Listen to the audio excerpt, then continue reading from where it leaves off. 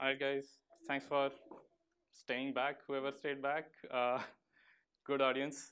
Uh, so again, this is a presentation about revenue management for vacation rentals. You have already heard some pretty good stuff. Uh, but what I wanted to touch upon was go a little more uh, in depth and look at some data and how you can look at some data to figure out whether revenue management is right for you um, and what kind of revenue management strategies you should be doing or what kind of things people do in general. So revenue management is essentially about uh, optimizing your availability and your prices. So obviously you want your prices to go up and down, but you also want to manage your availability, which is your minimum, minimum stay restrictions. Uh, and before we even go further, it's, it's important to ask, like, why do we want to do this? Why should vacation rentals be doing this? Uh, and the answer to that is, if you sell anything, not just vacation rentals, you should be figuring out what your pricing should be. Uh, and every single night that you sell is is a product in itself in some ways. So its its price can be different and it should be different. Uh, it's something that similar industries have been doing for a while. Uh, vacation rentals are just catching up in some ways, and there's a reason for that. Uh, from what from what I've understood about the industry, uh, pricing is something that comes at the very end. There's there's a lot more work to be done before you establish all your support network to, to figure out that you need to go and do dynamic pricing or revenue management right now. The first step is you, you need to get good inventory. I think Cam as well touched upon this, that unless you have good inventory, it's, it's going to be a little hard to get good rates for your properties. Uh, you need to have efficient operations. So can you, can you get enough crew to do the cleaning? If you, if you take single night bookings or two night bookings or three night bookings, all of this depends on can you get enough people, if you start taking single night bookings, can you schedule enough cleaners to come and do your job? Uh, can you have enough people come and do the key exchange or the welcome or the checkouts and stuff like that? Uh, and then it comes to, okay, now that you have sort of your operations ready, uh, your inventory is good, now you need to figure out, okay, how do I make sure that this is a business that's going to run for a while? And th that's where making sure that re revenue is more than your costs comes in. Um, and again, even in that space, I would say revenue management is sort of at the very end. You first need to figure out how do you tell people that, hey, I have this inventory and I want to sell. So if you are coming to my city, come book with me. Uh, that's where your sales and advertising comes in. Uh, also channel management. Channels are just another way of advertising. Um, so once you have all that set up, then you can go and say, okay, now that I have optimized everything else about my business, I am getting to begin with, nobody is going to sell your properties at 10 bucks or, or 10,000 bucks. You are going to sell, be selling at reasonable rates to begin with, but now you can start thinking about how do I go a step further and optimize that? How do I get that 5, 10, 15, 18% increase um, from where I started? Now, there are a few levers that, that are available for any vacation management company. Uh, the first one is understanding your competitive landscape. And this is where understanding what kind of property you have and what kind of market you exist in helps. So London is going to be priced in general at much higher than Barcelona is going to be just because of the because of the kind of economies there are, the cost of living, etc. Uh, but within London, every single property is different. So you need to know what kind of properties you have and what kind of properties, what kind of prices these properties can fetch. And this is what most property managers already do. They, they are pretty good about this. Uh, but even then, it, it's important to keep experimenting. So you've been selling at, say, 200 uh, pounds a night all through last few years, and it's been doing great. Do you want to go ahead and experiment with maybe set it a little higher or a little lower to see maybe when you set it a little higher, you might get more revenue. You might, your occupancy might drop, but you might get more revenue. The, the owners will need some convincing that less occupancy is okay because you got more money in the end. Uh, but there is value in experimenting with this itself. The second lever that comes in is now to make these prices dynamic. So a lot of property managers already do this. So almost no one that I that we work with has flat pricing throughout the year. So everybody does at least seasonal pricing. So during in north in the northern hemisphere, most of the places, uh, Florida side, um, summers are going to be higher priced and winters are going to be lower, etc. And there's people people already understand that and they do this. Um, did she say how many minutes we have? No, no, she just said you're on time. Okay. Uh, so that's about seasonality, and most people understand that. Then there's the day of week effects, and uh, we'll, we'll go into a lot of this in detail and look at some charts to see, okay, how do you how do you incorporate day of week effects in your pricing strategy? And again, this is something a lot of people do already. And last one is the premium for holidays and events. So depending on what's coming up in future, you might want to bump up your prices or bring them down. And that's one piece of it. That's one part of it being dynamic. Uh, the other part is even for the same day in future, you don't want to keep the same prices all through. So yes, there is an event four months from now and you have raised prices. Suppose three months pass by and you don't get booked, you want to start reducing those prices at this point, and that's the second dynamic nature of it. So the first part we have seen a lot of a lot of people do pretty effectively. Uh, they have historic data to understand, okay, what kind of trends exist, what's happening season-wise, what events exist. The second part is a little harder to do, but it, because it requires a lot of manual work to, to be going in and changing your prices all the time. Uh, and the third one, um, sorry, the second piece of it is, again, four months from now, maybe right now there's the demand is looking okay, but in a few months, something might get announced, a new conference or something. VRM Intel, I didn't, most people probably didn't know about this one. It's not a big enough event to drive a lot of demand more than usual, but uh, because of such things, you still want to like keep a track of everything, and that itself takes a lot of time. And the last lever, uh, actually I shouldn't say last lever, but the last major lever in some ways is, is the minimum stays. So um, during Milan Fashion Week, you don't want people to be booking single night or two night stays. It's, it's usually books out for the entire week or at least five or six days. Um, you also don't probably want, and we'll, we'll touch upon that, you probably don't want short stays coming in six months out because then they're blocking off your calendar. Uh, you don't want single night stays that single night Saturday stays where you could have gotten a four night stay. Uh, and then again, you have to track your day of week trends to see, okay, do, do I usually get shorter bookings on weekends? Do I usually get longer bookings over weekends? What can I do around there? So before uh, we go any further, I, you don't have to do this, but we have a tool that's freely available that where you can plug in your reservation data and it tells you, it, it draws some certain charts for you automatically to say, these are the trends that we see uh, that can help guide you in, in terms of uh, what kind of strategies can you set up for your portfolio. So I'm going to look at sort of these five different aspects of, uh, of revenue management. Uh, seasons, day of weeks, events, far out close in, and stay length. Um, and then I'm going to reference some charts from, from this Excel tool that we have uh, as we speak. So the first one being season. So season again, it, this is something most people already understand. Um, there is a high season and there's a low season. And this is a portfolio from uh, one of our customers in, in Europe. And they're, they're in a city that's very weekend heavy, and we'll, we'll see that. Uh, obviously, it's booking a lot more, like most European uh, cities, it's, it's booking a lot more during summer. December has a peak because of the last two weeks of December. Uh, but you, you can already see that they are actively managing their pricing at this point. So they are they are increasing their prices during. So they seem to have done something funny in May here, which uh, which we later figured that they shouldn't have done.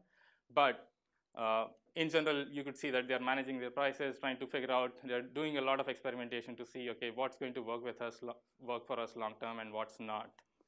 But if this is what your chart ends up looking like, you already know that in January and February, you should be lowering your prices a lot more than normal.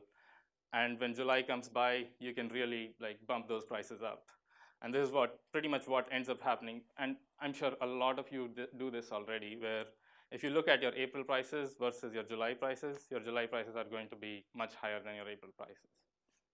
Uh, now, similar, the next thing that, that I want to, uh, this one is a little more interesting than the previous one because seasons are sort of done and dusted in some ways.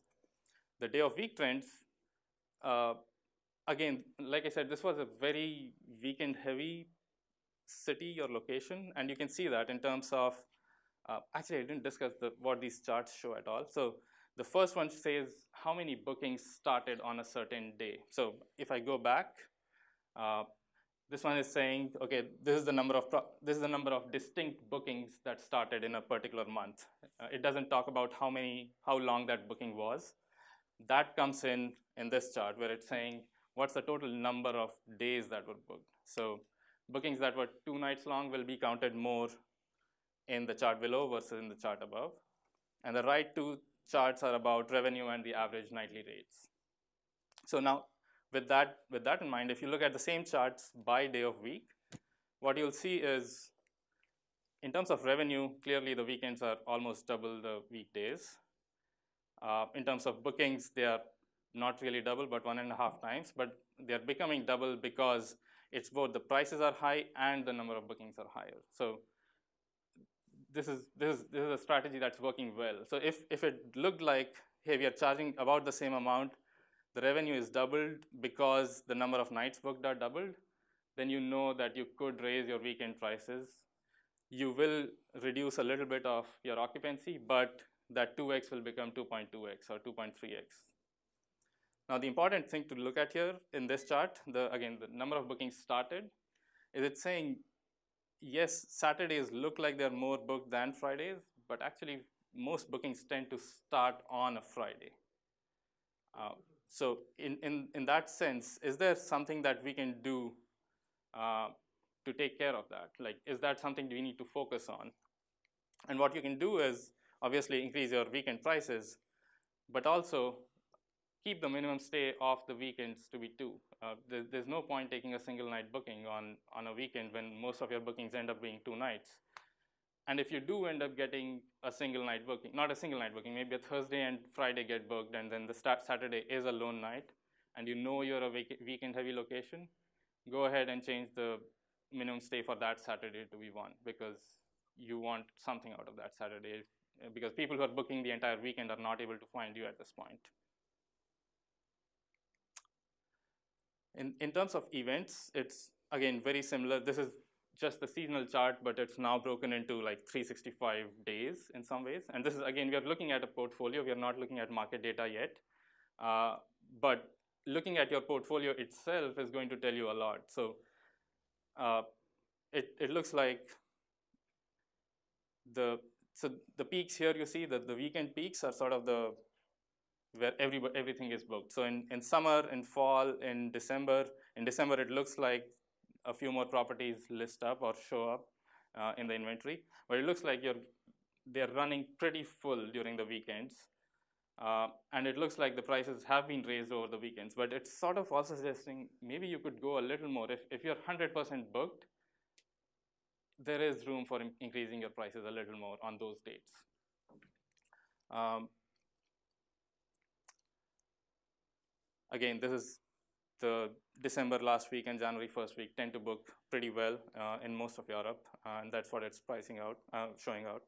Now, in terms of uh, events, most property managers tend to keep a track of the big holidays, the big events that are coming up, and, and you know in your location what's up there.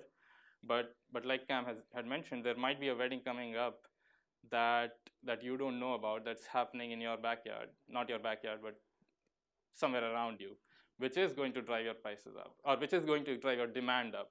And how do you keep track of that? That's something most pricing tools around today uh, will do for you. So if you if you don't know that a certain price uh, event is coming up in your area, the prices will still automatically go up, and then you can go and check, hey, why are the prices for I know there's a concert coming up here, but what's happening on this Monday and Tuesday? Week, weekdays are usually low demand, but the prices seem to be high. And then you go and check and you find out, okay, there's, there's certain events happening in that area. Uh, and could be a conference that just did not get advertised, uh, not in your network at least. Now, far out versus close in, this is again a strategy that works pretty well for most of our customers, where if you chart out how many bookings are coming how far out, so in this portfolio, it looks like there are a certain number of bookings that are coming three months out or more than two months out. But a major chunk of the bookings here seem to be coming between 14 and 60 days out. So you can you can call this your sort of primary booking window. You're saying, okay, this is the time, and this, this is very dependent on location. There are markets where most booking bookings end up coming like 12 months out. People tend to book their vacation for next year. And then there are city markets where most, most of the bookings end up coming in the last 60 days. So you need to figure out what's happening in your area, what's happening in your portfolio, and say, okay, just based on that, it looks like I should not try to sell out too cheap in this very far out region. Also, I should probably, once this like primary booking window has passed by and I'm still open with inventory, I should probably look at reducing my prices because if most people are booking between more than two weeks out and I'm still left open, I should start discounting my prices. And that's what seems to be happening here. Uh, the average prices are pretty high three, three months out, and it's great if you get bookings there. Uh, but as you come closer by, you have to start discounting. Uh, one thing you have to keep in mind, though, that you don't want to go too aggressive with this because it's possible that, as much as possible, you want to take your bookings in this region to say, why should I take a booking on a discounted rate when I can get a market rate? So I probably I should not give a premium. The risk there is you might sell out too early for too less a rate. So there's a fine balance between those two that, that you have to figure out where does that balance lie for my portfolio and, and then implement that.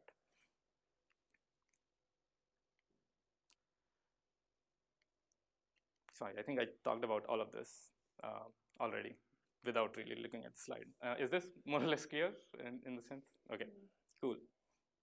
So last one is, is stay length. Sorry. Now, again, this one is starting out how many reservations come in that are one day, one night long, that are two night long, etc., and so on and so forth. And it looks like in this location, most of them are less than a week long.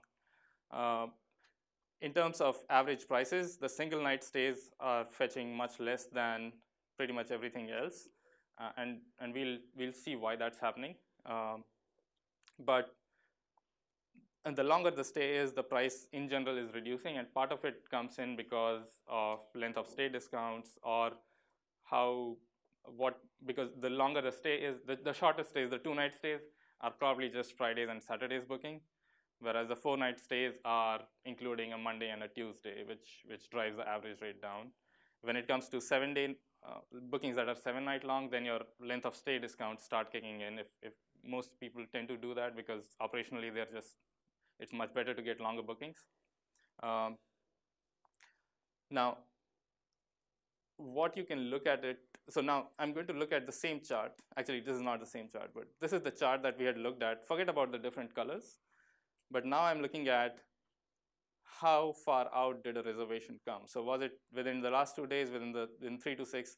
And again, this is the primary booking window that we talked about earlier.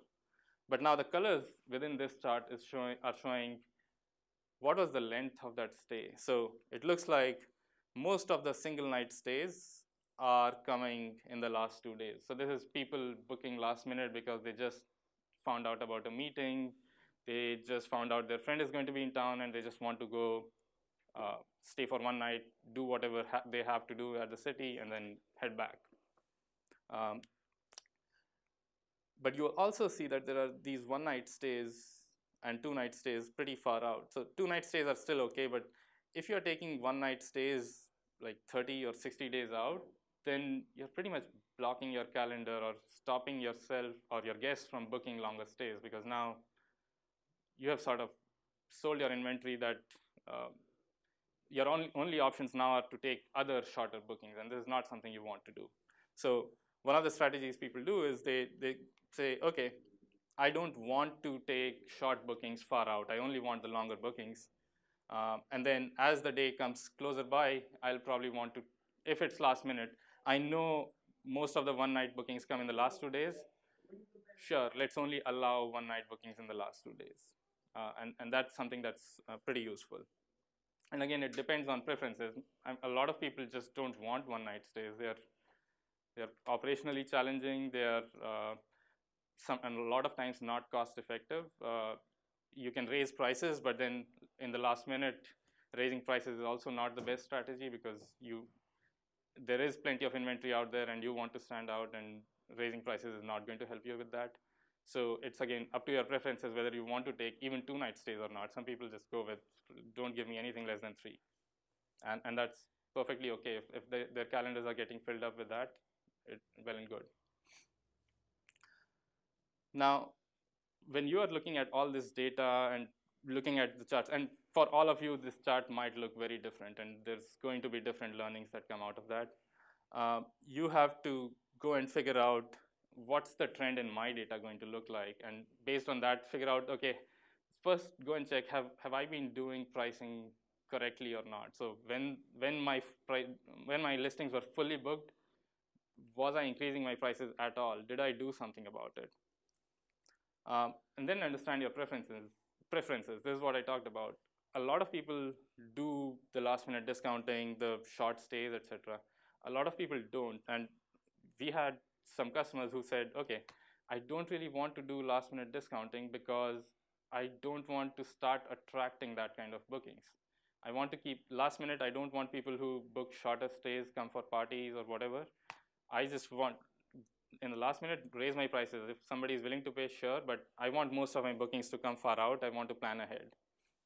And again, that's, that's completely up to you on your portfolio. And then understand what kind of levers you have in doing all this. So dynamic pricing is one, uh, minimum nights is one. So those are the two major ones. But then there's, there's a, lot, a lot of other things. There are long stay discounts and uh, extra person fees that can be, so extra person fees can be a real revenue generator for a lot of people. Um, and long stay discounts, again, helps operations because then you're saying you want to encourage longer bookings and you want to set up policies that encourage a behavior from your guests or your potential guests that you want. Now, uh, with PriceLabs, a lot of these things are sort of automated, but again, a lot of these things are settings that you can change and uh, with every property manager you want a certain set of behavior or a certain pricing strategy and you can do all of that. But again, we look at hyperlocal data. Uh, so for every one of your listening, you understand what's happening in your area in general, what's happened in the past, what's happening in the future. Uh, that can be a predictor for events and holidays. And then depending on your preferences, you have all kinds of customization options to say, how do you want to do things? Um, and the way any of this works is uh, with a PMS integration or a channel manager integration. And I know there were some questions about that, but so PriceLabs pushes uh, prices and uh, minimum stay, et cetera, to PMSs and channel managers. And then the PMS takes care of sending it to all the different channels. Uh, so that most PMSs also allow you to set up uh, channel-specific markups. I'm pretty sure everyone here is aware of that, like uses those, where if Booking.com is taking a commission of 15% and Airbnb is only taking 6% or 3%, uh, you want your net revenue out of a booking to be the same irrespective of the channel. And uh, so in some ways you're maintaining price parity in the sense you are uh, you're getting the same amount regardless of where the booking comes from. And then after, uh, if you host your own, and a lot of PMSs actually allow you to host your own uh, website or uh, your own booking engine where you're pretty much running commission free and uh, those prices show up there as well. Uh, so with that, I wanted to close. I know I just ran through this, but at 12.20, the startup competition starts, so this is good. Uh, any questions? Yeah, are there any Sorry. advantages or disadvantages to integrating to the channel manager versus PMS? So we, we have customers who directly use us. Oh, I'm sorry. Can you ask this question again with a mic? Yeah. Because this is being recorded. Oh, I see. Yeah, are there any advantages or disadvantages to integrating with either PMS or channel manager? Right. So with so we have customers who integrate with uh, Rentals United today, which is a channel manager.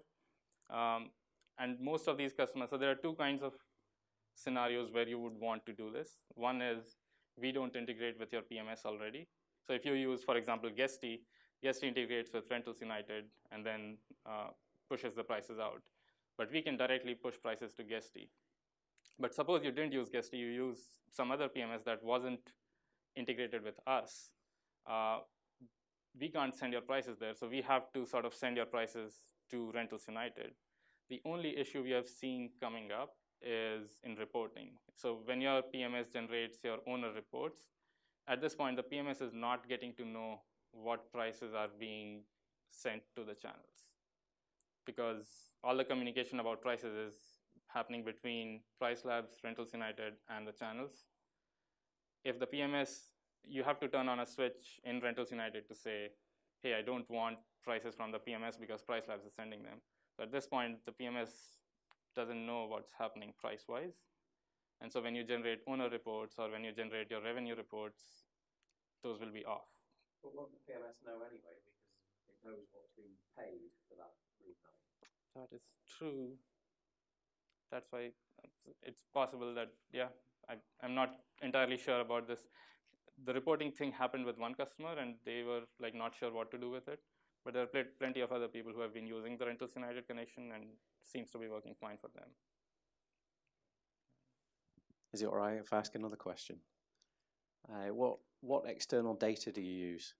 So we use uh, hotel data coming from GDS and we use Airbnb data. Uh, we have found uh, that Airbnb pretty much covers most markets around the world. Uh, and because most people tend to use a channel manager, um, their calendars are pretty synced across. So even though a booking might have come through HomeAway or Booking.com or somewhere else, eventually the calendars in Airbnb will show that. So uh, it, it paints a pretty complete picture of what's happening in your area.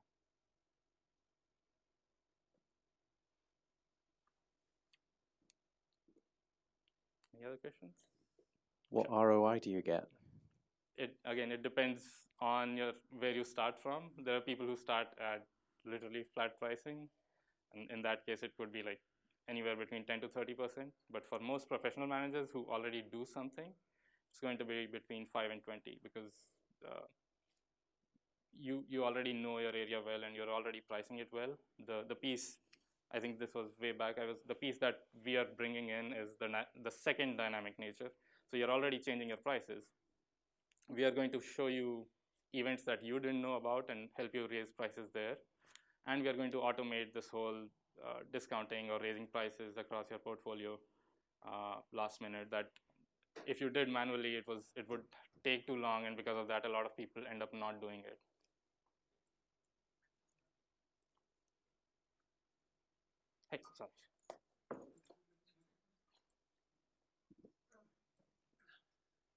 Uh, first of all, I want to say actually thanks uh, to the PriceLabs, we're their clients. We have 300 flats all over UK with them. I think they're doing a good job.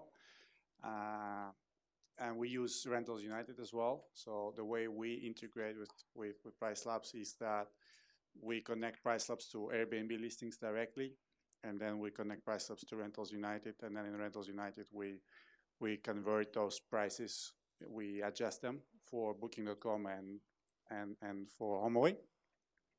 I'm actually more interested in, in sort of the future uh, things that you guys you guys are planning to do sort of in the next three to six months.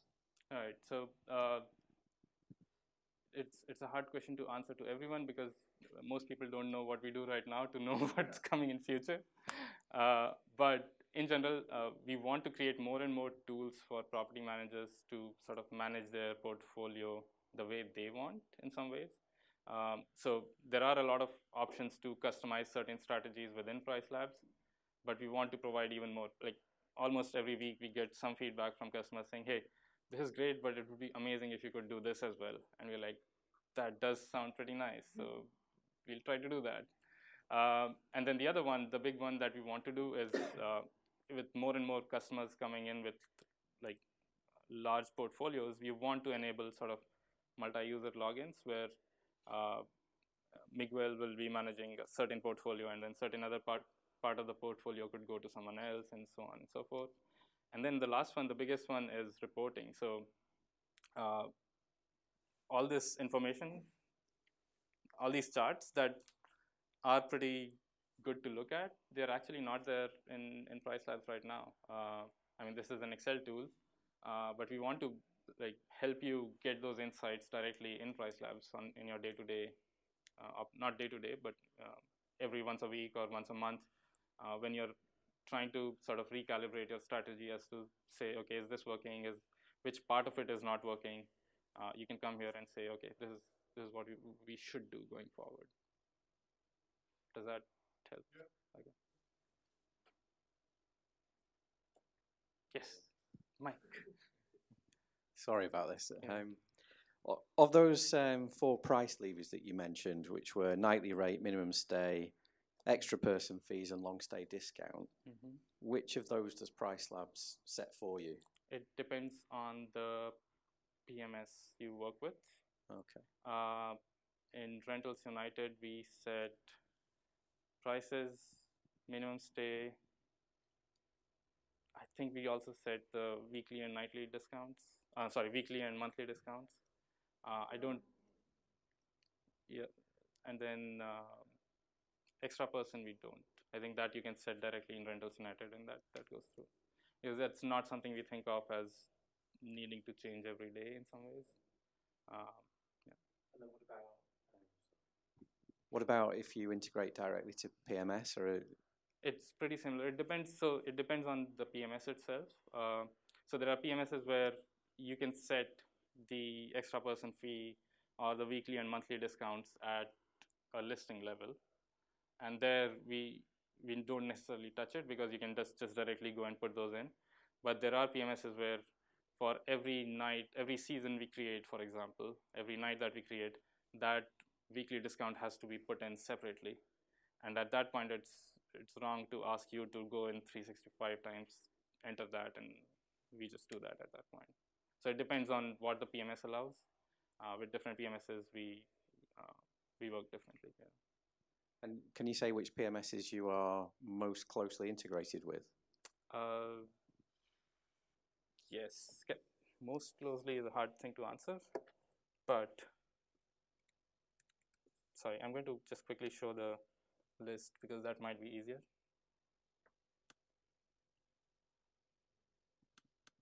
Uh, right, so it's uh, BookingSync. So all of these, uh, Kigo is the one we we only send prices to and nothing else. Uh, so I would say we are not closely integrated with Kigo, uh, but everything else covers everything. And I know a lot of Super Control is here if you want to talk to them. Guesty is here if you want to talk to them. Um, and those two integrations are pretty good.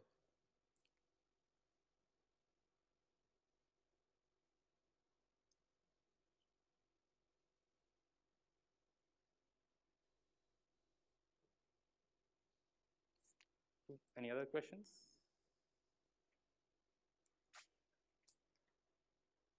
All right. Thank you guys. Thanks for attending. Uh, if you have any other questions, if you have any other questions later on, uh, stop by at the table and I'll be happy to answer.